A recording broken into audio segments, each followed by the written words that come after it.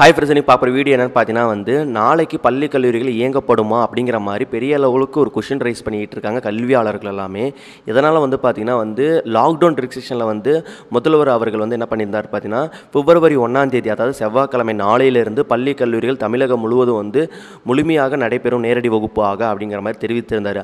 ஆனால் தெரிவித்த பிறகு எந்த ஒரு அஃபிஷியல் அனௌன்ஸ்மெண்ட் அதாவது எஸ்ஓபி அது வழிகாட்டு நெறிமுறைகள் பற்றி இன்னும் தமிழக அரசோ இல்லை அந்தந்த பள்ளி கல்வித்துறையிலிருந்தோ இல்லை உயர்கல்வித்துறை கல்லூரியிலிருந்தோ வரவே இல்லை. ஸோ அதனால் நாளைக்கு பள்ளிகள் கல்லூரிகள் இயங்கப்படுமா அப்படிங்கிற மாதிரி பெரிய ஒரு கொஷின் ரைஸ் பண்ணிக்கிட்டு இருக்காங்க. யாருன்னு வந்து பார்த்திங்கன்னா வந்து ஆசிரியர் கழகங்களும் அப்புறமேட்டு ஆசிரியர்களும் அப்புறமேட்டு பார்த்திங்கன்னா கல்வியாளர்களும் அப்புறமேட்டு பார்த்திங்கன்னா வந்து பெற்றோர்களும் வந்து கொஷின் ரைஸ் பண்ணிகிட்டு இருக்காங்க. சில ஆசிரியர்களும் வந்து பார்த்திங்கன்னா மாவட்ட ஆட்சியர்களோட வந்து புகார்கள் தெரிவிச்சிட்டு இருக்காங்க. இந்த மாதிரி பிப்ரவரி ஒன்றாந்தேதி ரீஓப்பனிங் பண்ணுறதா இருக்குது. ஆனால் இது வரைக்கும் வந்து பார்த்திங்கன்னா ஸ்டில்லும் வந்து வழிகாட்டு நெறிமுறைகள் வந்து தமிழக அரசு வந்து வெளியிடாமல் இருக்குது. இல்லை பள்ளி கல்வி சைட்லேருந்து சொல்லாமல் இருக்கிறாங்க. அப்படி இருக்கும்போது நாங்கள் எப்படி ஸ்கூல்ஸ் ஓப்பன் ஓப்பன் பண்ணி நேரடி வகுப்பு நடத்த முடியும். ஸோ இது பெரிய பிரச்சனையில் கொண்டு போய் முடிச்சு விட்டுரும். சீக்கிரம் வெளியிட வேண்டும் அப்படிங்கிறாங்க. இல்லைன்னா டேட்டை கொஞ்ச நாள் தள்ளி வைங்க அப்படிங்கிற மாதிரி பெரிய ஒரு அனௌன்ஸ்மெண்ட் கொடுத்துருக்காங்க இதை பற்றி நீங்கள் என்ன நினைக்கிறீங்க? எது நினைக்கிறீங்க? கீழே கமெண்ட் பாக்ஸ் சொல்லுங்கள் ஸோ இந்த வீடியோ இப்போதைக்கு முடிச்சுக்கிறேன்.